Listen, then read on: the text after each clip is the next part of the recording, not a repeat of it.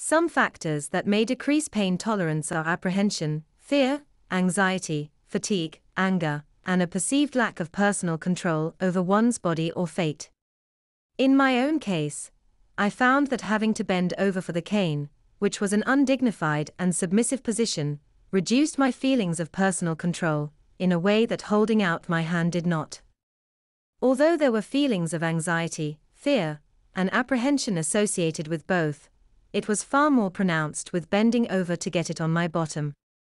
I could not see behind me, and therefore I was unable to calculate the expectation of when, or where the stroke would be applied, nor be able to gauge its likely force.